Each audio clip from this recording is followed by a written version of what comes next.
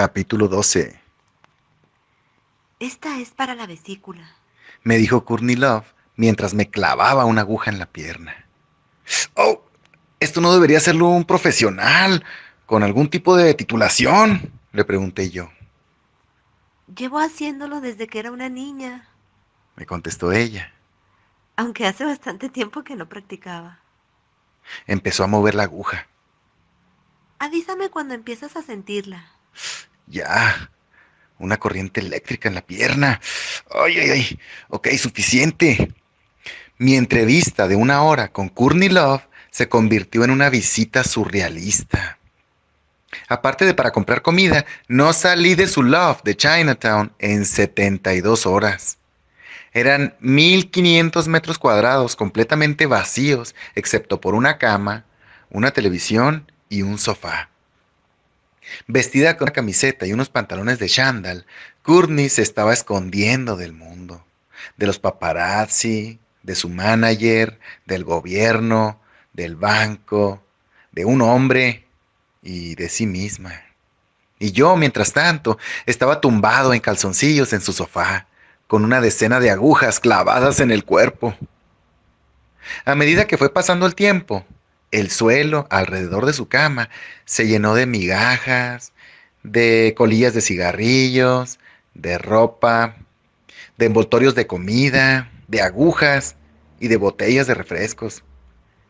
Ni siquiera se atrevía a contestar el teléfono por si alguien la llamaba con alguna noticia de mierda sobre alguna puta mierda. Solo existíamos nosotros dos, periodista y estrella del rock, maestro de la seducción y músico. Courtney puso el DVD de Boogie Nights, volvió a la cama y se cubrió con una sábana sucia. Siempre que salgo con un tipo le pregunto cuál es su mayor temor. Me dijo, Mi último novio me dijo que era ir a la deriva. Y eso es exactamente lo que está haciendo ahora. El realizador de videos con el que estoy ahora me contestó que el fracaso. Y yo estoy viviendo mi mayor temor, la pérdida del poder. de todos los problemas que tenía, los que más parecían afectar a Courtney eran los sentimentales. Era algo que les ocurría a todas las mujeres, al margen de su fama y su aspecto. El realizador había dejado de devolverle las llamadas, Tengo una teoría. me dijo ella. Para que un tipo se enamore de ti, tienes que haberte acostado con él al menos tres veces.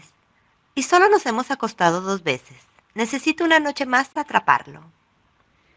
El realizador le había robado el corazón usando la técnica de empuja y jala. La acompañaba a casa, la besaba en la puerta y después le decía que no podía subir.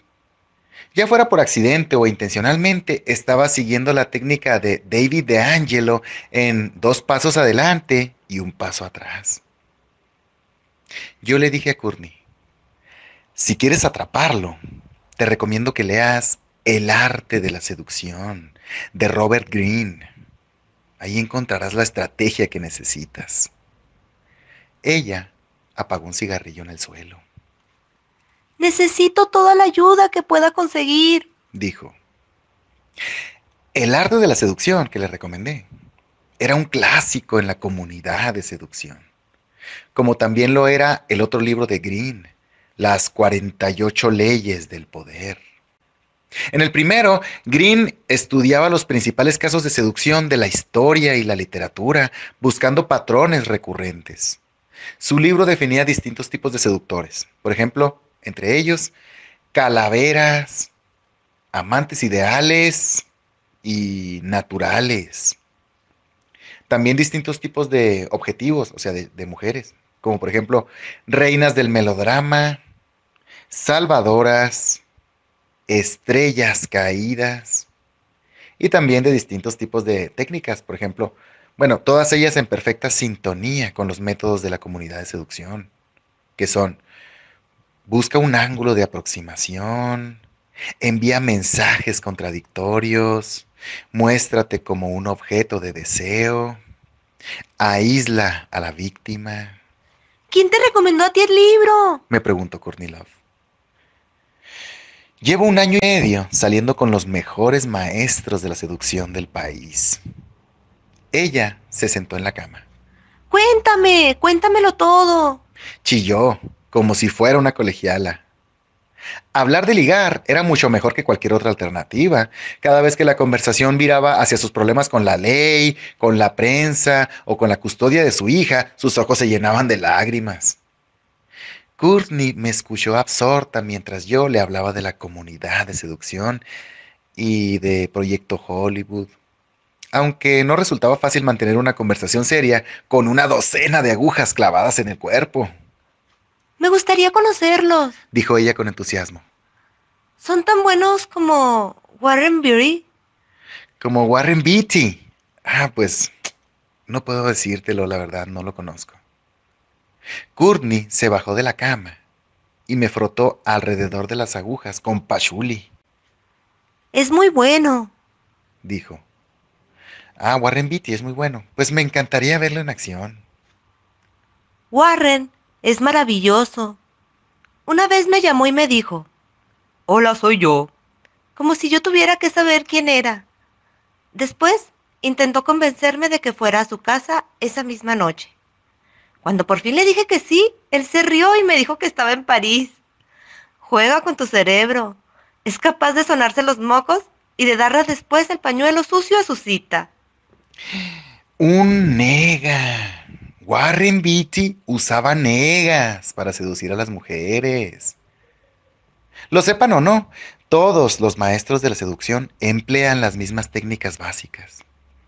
La diferencia entre los que forman parte de la comunidad de seducción y los lobos solitarios como Warren Beatty, cuando todavía lo era, Brett Ratner o David Blaine, es que nosotros les ponemos nombre a las técnicas y compartimos la información. No sé qué le pasa al realizador, dijo Courtney. Tengo un culo mágico. Convierte en rey a todo el que coge conmigo. Yo creo reyes. Traducción, quien coge con ella se hace famoso. Courtney empezó a quitarme las agujas. ¡Ay, qué alivio! Tienes que probarlo en la cabeza, me dijo. Es lo máximo. Se agachó, agarró una aguja usada del suelo y apuntó justo encima de mi ojo. No, gracias. Creo que por hoy ha sido suficiente, le dije. Tienes que probarlo. Es buenísimo para el hígado. No, no, no, no, no te preocupes por mi hígado. Te aseguro que está bien mi hígado. Volvió a tirar la aguja al suelo. Bueno, dijo. Entonces voy a bajar por unos dulces de arroz tostado con marshmallows. Contorneó el cuerpo para quitarse la camiseta rosa que llevaba puesta y se quedó con los pechos al descubierto. Son naturales, aunque con una ayudadita de silicón. Me dijo, inclinándose hacia mí para que pudiera ver la cicatriz que tenía por debajo de la glándula mamaria izquierda. ¿Sabes lo que pagan por una foto de mis tetas? ¡Nueve mil dólares! Ah, entonces tus problemas económicos están resueltos, le sugerí yo. Con eso ni siquiera me bastaría para entrar en el vestíbulo del despacho de mis abogados, replicó Courtney secamente. Después se enfundó un vestido blanco y negro de muñeca. Al volver de la calle, tenía las mejillas llenas de color. Sacó una tartaleta de café de la bolsa y la partió en dos, dejando un rastro de migajas de camino a la seguridad de su cama. Te hago una apuesta, me dijo. Ok, dime. ¿Qué te apuestas a que consigo que el realizador vuelva conmigo? Mm, no creo que lo consigas. Si no te devuelve las llamadas es porque ya no le interesas. Hasta negó que se hubiera acostado conmigo en el New York Post. Dijo Courtney mientras me daba la mitad de la tartaleta de café. Pero a mí siempre me han gustado los desafíos. Solo puedo decirte, le dije, que si lo consigues, tendré que reconocer que tus poderes de seducción son mayores que los míos. ¿Qué nos apostamos? ¿Tú qué has pensado? Si no lo consigo, me acostaré contigo durante una semana. Yo la miré sin decir nada. Desde luego, no me lo esperaba. O si lo prefieres, puedes elegir el segundo nombre de mi próximo hijo. Continuó diciendo ella. Tú eliges. Bueno, ok. Pero hay una condición. Antes quiero hablar con esos maestros de la seducción con los que vives, para que me aconsejen sobre la mejor manera de conseguirlo. Cuando llegó el momento de irme al aeropuerto, Courtney se levantó de la cama y me dio un beso de despedida. Solo necesito un buen cogidón, me dijo mientras yo esperaba el ascensor que me sacaría de aquel loft. Solo necesito algún chico que me, que me haga un buen cogidón.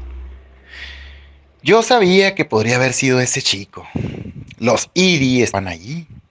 Pero igual que existe un código de honor entre los maestros de la seducción, existe un código ético entre los periodistas. Y si me hubiera acostado con ella, los habría roto a ambos. Lo que le había dicho a Dustin aquella mañana en mi apartamento era verdad. Aprender a seducir a las mujeres no solo había enriquecido mi vida sexual. Sin ir más lejos, las habilidades que había adquirido en la comunidad me habían convertido en mejor periodista. Descubrí hasta qué punto era cierto eso cuando me pidieron que entrevistara a Britney Spears.